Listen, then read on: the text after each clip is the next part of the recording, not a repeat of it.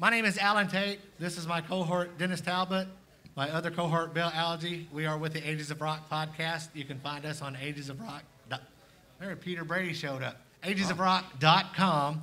And today we're going to host a Q&A with uh, Mark Goodman. Yeah!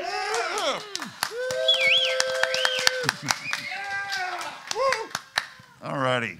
I remember I saw, I come from the country, so we didn't have cable television. And in 1983, I moved to Evansville to go to college. And I remember, first thing I did, I walked into our apartment that I was staying at, and MTV was on. And I'm like, wow, they're playing another video and another video. And it's like, I stayed up all night. So, Mark, you and all the other VJs were a welcome guest in my home for two years. My TV basically just stayed on MTV. so, how, how much did you watch? Would you say back then? Oh my gosh! Anytime I was home, it was it was on. And, you know, it was, I would, watch this, watch that. Well, it turned out okay, man. Yeah, we, didn't, we, didn't, ruin you. Did didn't rot my brain or anything. Yeah.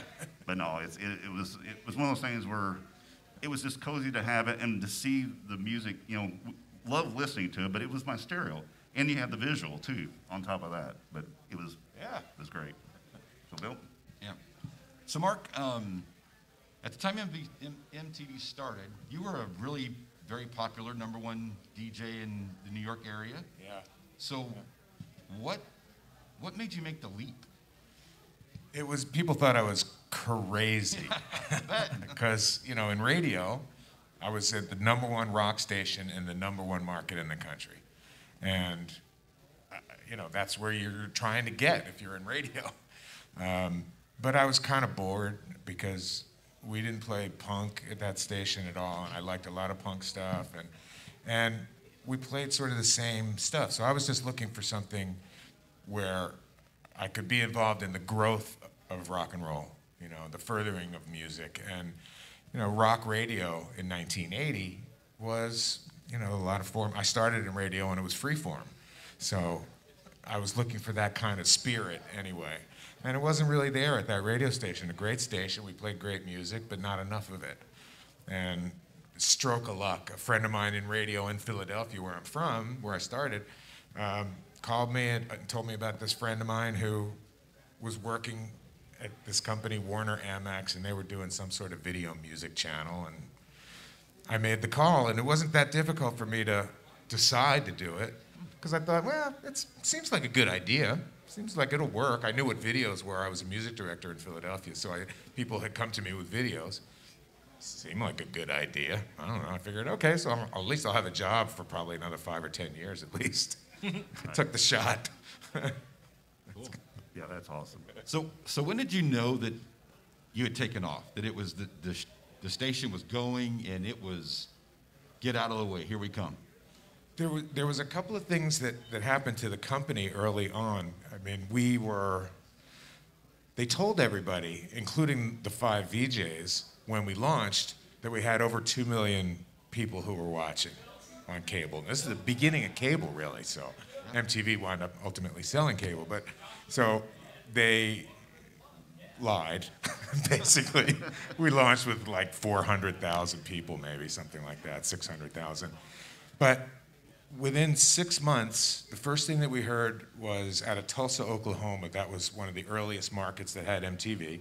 And there were people going into record shops in Tulsa and asking for this album called The Age of Plastic by the Buggles. Hadn't been on the shelves for a year and a half, two years.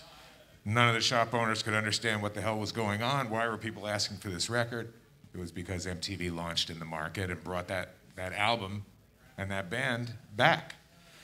That was the first thing that I noticed. And then part of what we had to do in the beginning was the five of us would be sent out to various markets around the country to like go out to dinner with the cable operators and hey, why don't you pick up MTV? Know, it'd really be cool if you would add that to your cha- you know your channel lineup. And so we would do that. And I was making an appearance at a record shop in Cheyenne, Wyoming, and we literally I was in the car being driven over there and came around the corner and there was like a thousand people standing out in the street. And I asked the, the driver, what, what's going on up there? What's, who's here? And he goes, you are. like, what? so I thought, that was, that was my first really experience of like, holy crap, people really like this. It's pretty amazing. That is cool. How old were you when that when that happened? We we launched, uh, and I was, I want to say like 29 or something like that. 30. I haven't really done the math. I was in uh, high school. Yeah. yeah. That's great. We want to leave you. We'll let you guys ask some questions. So if you guys want to step up to the mic, uh, please do so. And um, we'd like to have you guys be able to ask some questions. Tell us your name and where you're from. I'm Ryan from Nashville, Tennessee. Hey, I love this town. What's the most outrageous moment that you had? Uh, outrage comes in a lot of forms. um, uh, outrageous. Well, I uh, I got to uh, be the, the live reporter for MTV from the US '83 festival, Oh wow! Oh wow! Amazing. which was amazing. Watched We, it. oh, you just watched it? Yeah. It was insane. And if you just watched it, then you know Yeah. Metal Day. Yes. Ozzy, you know, and it was an insane day. There was that was the highest attendance day. There was about 400,000 people there, and uh, and it was San Bernardino, California, which is freaking hot. I was gonna say. It's gross there. And they're literally like hosing people down in the front and, and stuff. And for, this was the first time that MTV was covering something that was live, live. And like, like real TV, we were trying to do a live shot with me from the stage. So what was supposed to happen was I was supposed to come up on stage, greet everybody and welcome them and so on, and then bring Ozzy out. So, you know, I mean, I don't know if you guys, any of you guys have ever had to host a concert, but you know, you get up on stage and you do, hey, what's everybody doing? Let's rock and roll today. Let's have some fun. Woo! Get everybody screaming and yelling. All right, everybody, if you're ready, okay, this is Ozzy Osbourne. Oh, oh, it was too early. We got to, We have to do that again. oh, okay.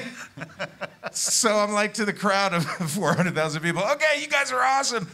Take two. it's just not the same the second time. So that was a pretty outrageous moment. Okay. Bring it on. What's your name? Shane Paisley, Fort Wayne, Indiana. Did video really kill the radio star? I'm fucking here, aren't I? here I am. That's awesome. I don't know how what a great choice that was for a first song. Radio was a little upset about that. I bet it was. Uh, my name is Sean Coleman. I, uh, I know you, Sean. yeah, we met earlier. Uh, we're currently in central Arkansas, but I'm from Florida. Huh? Uh, I thought I'd share a little something, but then I have come up with two questions now. Go for it. Um, I grew up in the 70s. My family listened to the radio all the time. So I was always up on what was cool on radio, but I was a kid, so I didn't know who the hell sang anything. Uh, and then in 1983, same as you, I discovered MTV, and I was completely mesmerized. And I sat there. I drove my dad freaking crazy because I was visiting my dad that summer, and I had MTV on bare minimum six hours a day. By the end of the summer, they're like, "God damn it, will you turn that shit off?" You know. Um, and then every summer I would come to visit them, it would go right back on. They're like, God damn, here we go again.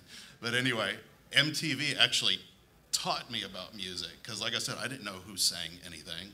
And MTV showed you who the artist was, what they looked like, what the name of the album was. And when I got back home to Florida that at the end of that summer, I was like the aficionado on everything that was going on the radio. Oh, that's Zebra. That's off. That's off this album. You know. You're like a music database. I know, and, and you ask her, and it's only grown since then. So I mean, I'm a freaking encyclopedia on music. But anyway, MTV is what did that for me.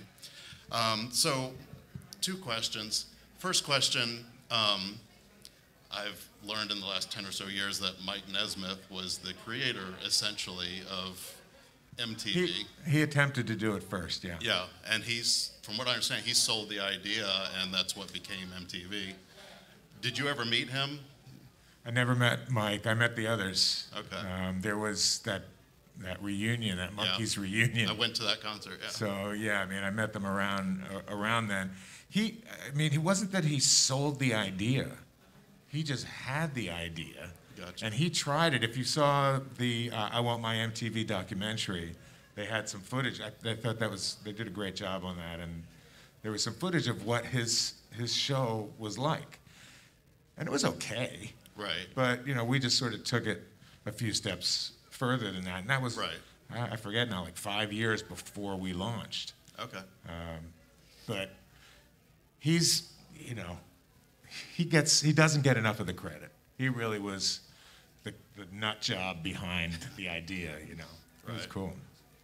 So, uh, question number two. Um, I noticed over the years watching MTV that a lot of the VJs would have the same thing to say about the music video after it, and sometimes what was being said was kind of cheesy. So, I was wondering if you guys, if MTV ever came to you guys behind the scenes and were like, "Yeah, uh, this video is popular.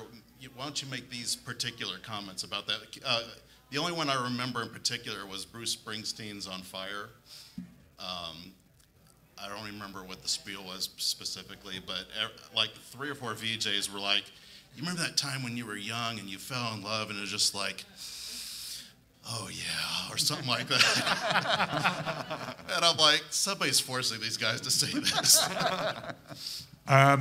As long as I was there, we were never ever told what to say.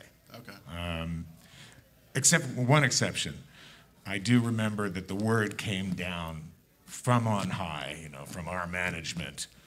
From this day forward, you will refer to Michael Jackson as the king of pop. he decided that. He told his label. They told us, and we had to frickin' do it. So that was about as close as we got because we, I mean, we did news and stuff, but that was, we had a news department we would gather it, we would deliver it in our, our own way. And certainly when it came to your opinion about a video or about an artist or whatever, they never told us what to say. Cool. Now, what did happen was the studio was a separate world. The people at the office, the suits, we didn't know them. I mean, we didn't go up there, they didn't come down. It was two different worlds. So we'd be down there recording shows, recording, recording, re- and every week, of course, they add new music. But it would just, we'd get logs, and it would just show up. Oh wow, here's the new Pat Benatar. I haven't seen this fucking video. what is? So I I put together a card file that listed each artist and their video, the names of the videos, and a little spiel about each of them. So maybe they were reading my cards too much. I got a quick question too. When you guys filmed your, your slots, how did that how did that work through like the Monday through Friday? Did you do all your spots for a day? You know, each We, day, uh, or how did that work? Nobody ever asked me that before. It's it, what happened when we first launched. Yeah, we shoot five days, but we're on the air seven.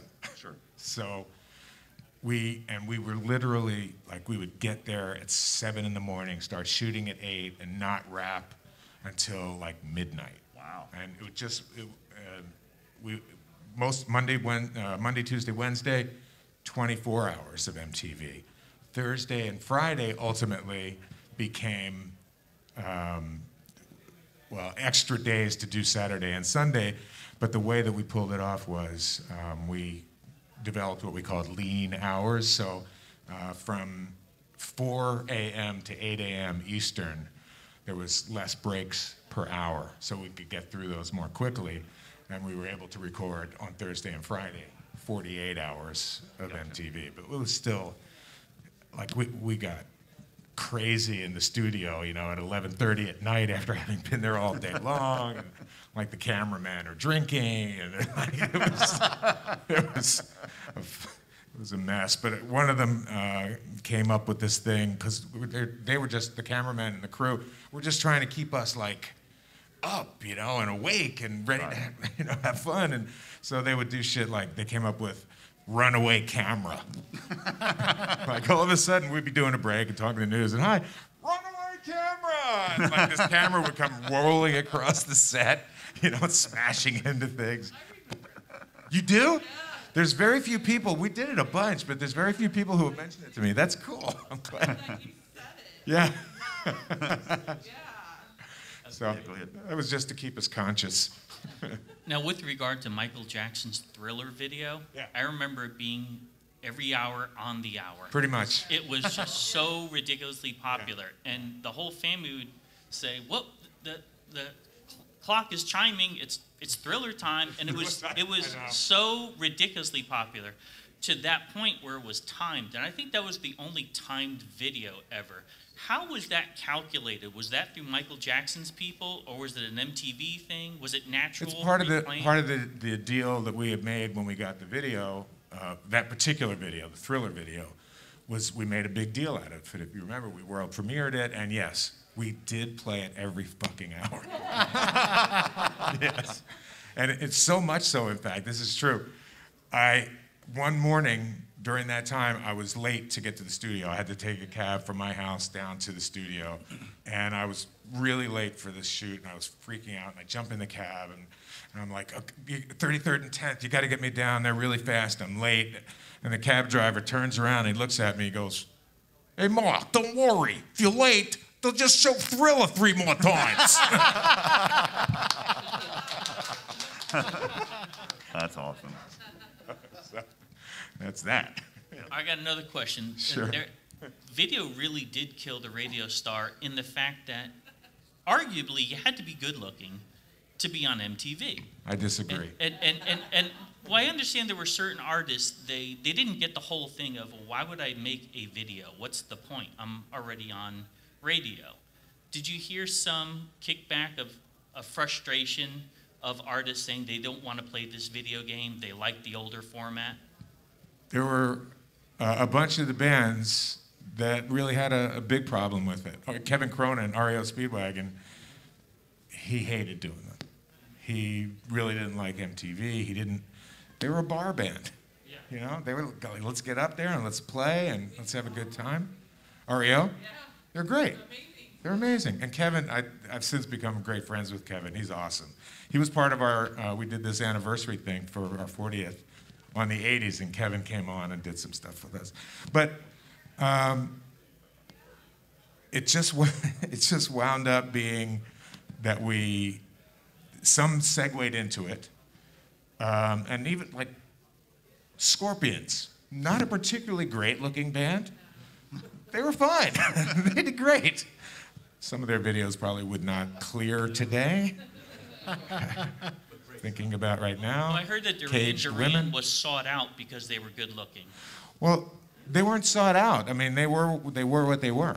Duran Duran, one of our early success stories, obviously, but they um, the the first album had been out, and it was n- you know in America not really that well received. Radio was not that interested in adding any music from them, and but so for them video and they really it wasn't just that they were a good looking band. They they did these really cool videos you know. They in sri lanka for save a prayer or rio. I mean how legendary is that right?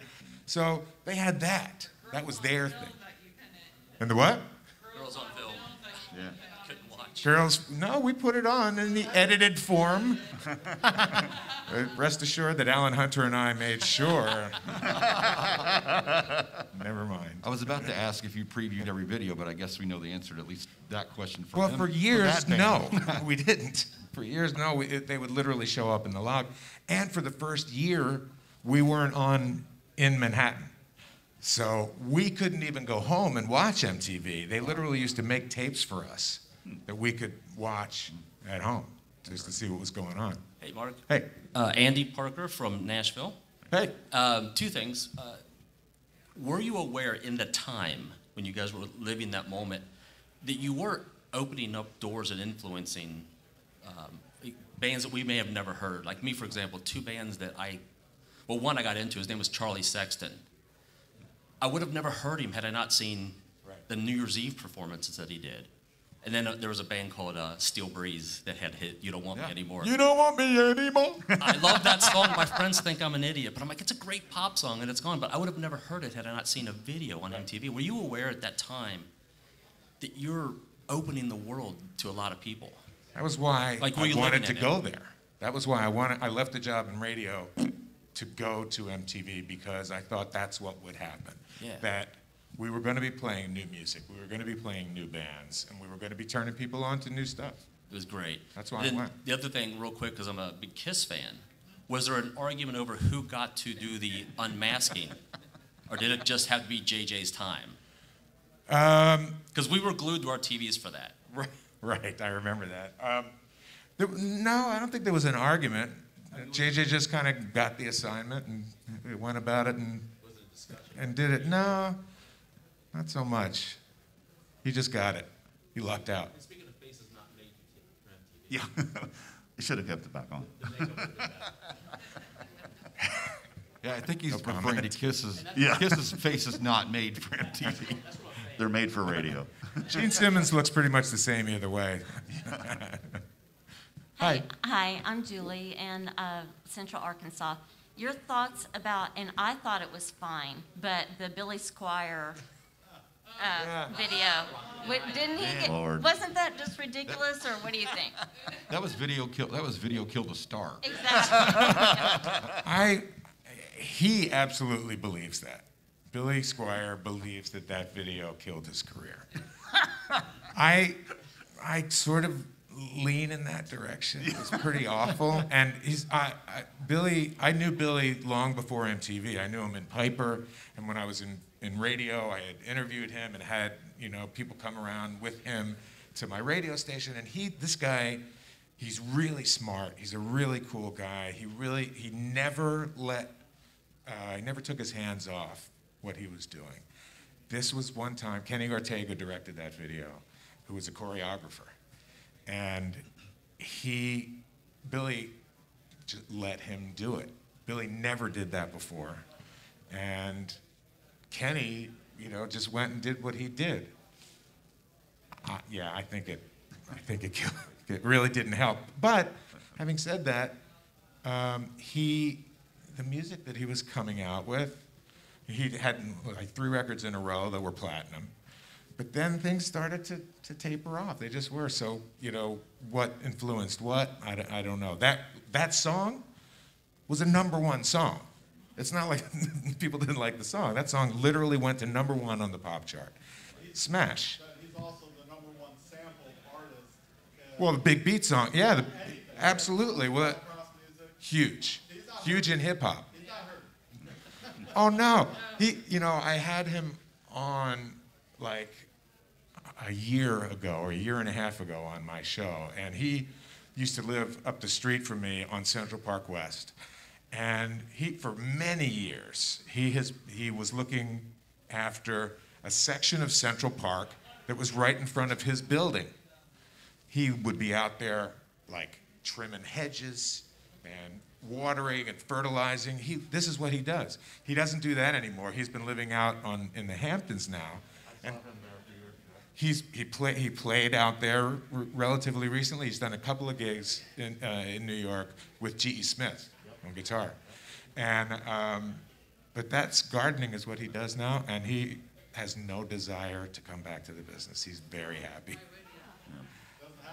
He's a, because why would because he's a, because he's a rocker and he's a musician and he's a writer and Well, we saw him He- about 10 years ago, 8 years ago in concert, just doing like a little festival. It was amazing. And it was great. he's great. It's just good to see him. Yeah, You know, he doesn't need to be out there releasing new records. You know? yeah, yeah. He especially uh, look. I mean, I I know this is ROCKNPOD and everything, but rock as a genre is not the influential genre that it, it was 30 years ago. You know, it's just not. So yeah, I, I agree. We saw. But there's great rock and roll being made out there, and I know that you people know that. All right. So I want to know how Mark Goodman, Alan Hunter, and Nina Blackwood go from being on MTV to off doing their different things, and now they're on Sirius XM. The, the weird thing about us joining Sirius was I in uh, 2000, early 2004, like January, I had heard about it, you know, and heard XM was up first. XM's Rocket went up first. Uh, Sirius was a year later. And like, I was living in LA and I was working at, at, K Rock in LA, a legendary radio station. And all these people that I was working with over there were all on Sirius. I was like, what the fuck? How come I'm not on there? so I had an idea for, for a show that I had been doing and, and um, brought that in. And they were like, yeah, no, we don't want that. But um, we will take you. so they hired me. I was the first one hired and um, for the Big 80s. And I put the guy who was running the Big 80s at the time in touch with Alan and, and Nina and Martha. Martha did not come for the first couple of years. She, she just didn't feel like it. But um, Nina and Alan did. JJ was waiting for me to kind of give him feedback on it. He, he and I were the radio people uh, among the VJs. And he, wa- he, he just didn't understand what this was going to be and why he- he wasn't sure about the company. So I started in uh, February of 2004, and JJ died in March. Right.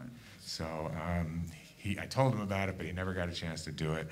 And I just told the others, like, this is cool. Let's come on, you know. And, and it was at, at the time where the, the company was founded on DJs doing stuff in their house, you know, like we've all been doing for the last year and a half.